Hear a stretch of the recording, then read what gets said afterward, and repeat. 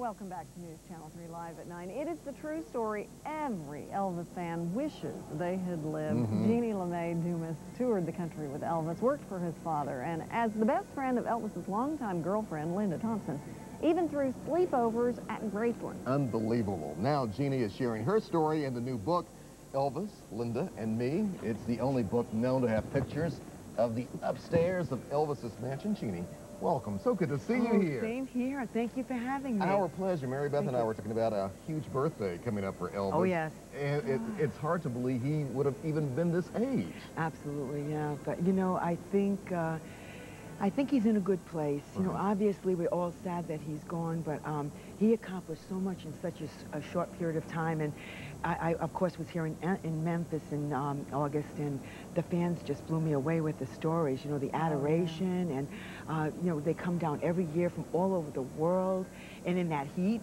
Right. uh, Jeannie, you know all about that heat. Yes, I do. I don't remember living here uh, being that hot. Well, uh, but I, I but that's because when you were living here and you, you took over the job of I think answering fan mail or organizing yes. fan mail. Yes. You used to work. Come on, be honest, by the pool. Yes, Jeannie. I did. I used to swim in the pool did at my lunch really? hour. Yes, I did. Mr. Presley would sometimes come out and and uh, he'd say, "How you doing?" And I'd say, "Oh, I'm just loving this because I love the water. I truly do." Life is hard. Huh? It is. It's tough. I mean, not everybody has that opportunity to sleep there. And of course, I sleep. I slept there when he went out of town. I want to make that very clear. I um, I was fortunate. We'd have sleepovers, and and, uh, and that's had, how I got the pictures of the had, upstairs. And some great pictures of that. Sleepovers in Elvis's bed when he was out of town traveling. Yes. You and who who would likely and, come? And it was Linda's cousin Uh, Bramlett now. It was Stevens back then, and her cousin Janet, and uh, so you know, we would like young girls just having a ball, like a little fairy tale existence. Uh -huh. And then I, I just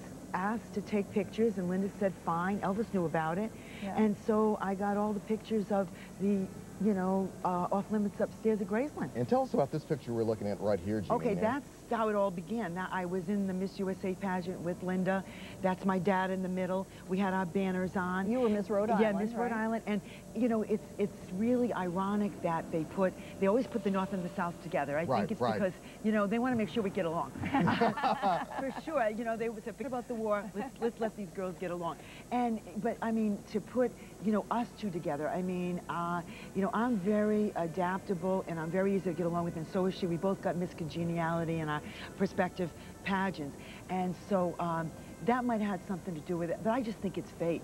Truly, I think uh -huh. it's uh-huh. fate. Absolutely. So how did you find your way all the way to Memphis? How did that well, we, we became such good friends. We were in the pageant for a couple of weeks that Linda said, uh, gee, we should get an apartment together. So I said, well, one of us has to move. She said, oh, you'd love to come to Memphis. There's a lot of cute guys. and she said, Elvis lives there. And I said, he does. And, and said, she did not know Elvis at this time. She had met him briefly at, uh, when he got the, the 10, um, best men of Memphis. Right, oh, okay, right, okay. Right, so she right. had met him, but she was not Yeah, she was a, still a beauty queen. She won every contest in the state. Right. He, truly. And so popular.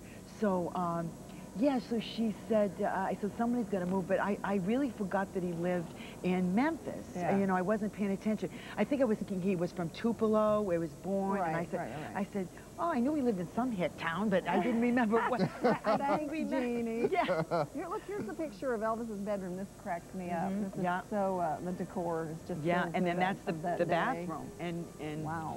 I mean, when I took That's that picture, bathroom. I got, yes, and I, I took that picture uh, because I used to use the bathroom. Uh, I never used the shower, but I used to use the bathroom in the middle of the night because it was a little further to go up to Linda's bathroom. Right. And uh, I just thought this is a great shot for my family. Really? I mean, can you imagine? And I mean, just a young girl, just just all excited and trying to prove to everybody that I haven't lost my mind and, and that these these I was actually there. So, and Jeannie, these pictures are rarely seen, are they not? Uh, you can't go upstairs. I'm the only one that that took them. And and you'd be surprised the people. I don't want to mention names, but the people that said I wish I had taken the pictures. Oh, because I'm sure. because yeah. they are valuable. But it's not even just about that. Right. I think the fans want this. They want something, they want everything to do with Elvis, and this is the only thing, I think, left. They want the inside look into his... And yes. speaking of which, let's so, oh, show your ring. ring. Oh, my gosh. Oh, now, tell us the this. story of this ring. Okay, the ring story is, is lovely because he gave you know, items like this to complete strangers.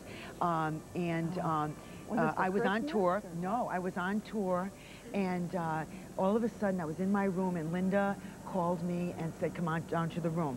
So uh, the suite. So I went down, and Elvis greeted me in like in the hallway with a, a blue robe on. He was getting ready to go on on, on the show, and uh, he was being comfortable, and he always looked dreamy. He was gorgeous in person, more gorgeous in person. So he, he hands me a little box, and it said Jeannie on it, and uh, said, "I want you to have this." for being a good friend Linda. And I went, for what? I didn't do anything. And so, and so then um, he said, no, really, come over here and sit down, he said, and, and open it up. So I sat there, and, and Joe Esposito's sitting there, Right, Linda's right. sitting there, and uh, Lowell Hays, who had the big box of jewelry.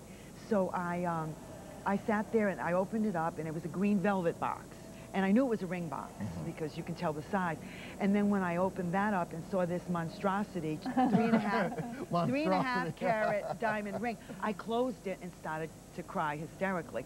So he oh. said, honey, he says, and I'm hugging his neck and carrying on. He said, honey, I, I want to put it on your finger. So we went to put it on and it got stuck. So I went, wait a minute. and I wet it and it slipped right on. And he said, did you notice it's shaped like a cross? And I went, what? And he said, it's shaped like a cross. It is. It is. And it? I've never seen Here, one let's like show it it. again. It's absolutely Have you ever taken it off your finger since then? Um, well, I had to take it off because I did get married. oh, so you, you I- wore it on that Yes, finger. and a lot of people say, well, didn't didn't it uh, probably scare some suitors away? And I said, tough, because because this to me, oh, it, you know, this was such, you know, a touching thing. I mean, oh, it it's it just absolutely wasn't coming off my finger. Um, So what about and- the kiss from Elvis? Oh, There's the some kiss. kiss stories. Yes. I, I was, I, my whole life, I used to go to the movies in the 60s, and I used to dream about one, being one of the girls in the show.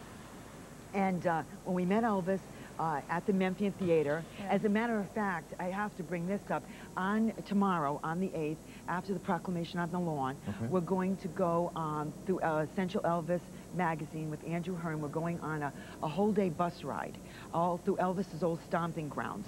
One being, we're going back to the Memphian Theater where this all began, because that's where we met him. Right. Right. And so that is going to bring tears to my eyes, I'm sure. And then um, after that, at 6 o'clock on Dolan Drive, they're having another event uh, with a lot of Elvis's buddies, like Bill Morris, Right, right. Tom Morgan, Oh, all the police. It's Yeah. called when, uh, how the beat goes on, or the, um, in, the, in the beat of the night, they call it the Mhm, beat of the mhm. night. So that'll be nice. And, um, but, uh, you know, how um, the, uh, we were talking about now The the, kiss. the The kiss kiss. now, the The kiss. legend. How could Yes, you the forget, kiss. Jeannie? I was You're talking about the- pretending you forgot that. Uh, this is, yeah, this is good. so uh, when we were invited after the Memphian to go to Graceland, um, we were taking a bunch of pictures. And of course, Elvis like was all over Linda taking Yeah. uh, pictures and kissing and all that. And I'm saying, please God, let these pictures come out. so uh, uh, I said I wanted a picture. So I stood there, and then Red West grabbed the camera, and uh, all of a sudden, I'm smiling, and Elvis just grabbed me and kissed me. I, I mean, a, a big kiss, not a little Like a real kiss. A real Did it kiss. last and I few- literally, I, my knees buckled, and Did I they had really? to, I had to, put yes. And I now, had was to it because he was Elvis, or was he that good a kisser? he was that good a kisser. And, and I think a lot of it had to do with I wasn't shocked that this was him. but that's why he did it. He didn't do it out of disrespect to Linda. Right, right. He did it because he loved to kiss, he loved women, and he wanted to shock you. He loved to, to see the expression on her face. And I, I tried to be calm. But when Linda and I got in the car, I said, oh my God. I said, did this really just happen? You know, it, you know, it stays with you forever. I mean, really, Wow. the best kiss I ever had. Look, I ever I'm had. proud to say it. Honey, Proud to I it. hope you're coming back in August. You 'cause got that gotta right. talk some You got that gotta got come to back. talk What a great book. Oh, thank great you so pictures, much. Where can we get it? All well, the just want to say, yeah, there was a little confusion because I initially self-published, and then within a month I, I got picked up by a, a publisher, Rooftop Publishing, and they redid the book. However, they did a black and white one first, which is in a lot of the stores. It's a little small, it's very nice, but it's black and white photos, 30. This one is the collector's edition, eight and a half by 11 with Okay. 70 colored pictures. Got you Okay. So if you don't, if you, if it's not on the shelves at Barnes and Noble, all you have to do is order it, or you can get it to rooftop.com or barnesandnoble.com. All right, Jeannie, Yeah, thank you well, very much thank for being you here this so morning. much. We Such a pleasure. it. Oh, to such a you. pleasure meeting Oh. you too. Thank you, Pleasure Dan, for the opportunity. thinking about I appreciate kid. it. Tell you Okay, what. Lord bye. mercy, we'll be Calm back. down there. Calm oh. down. All right. More live at night in just a moment.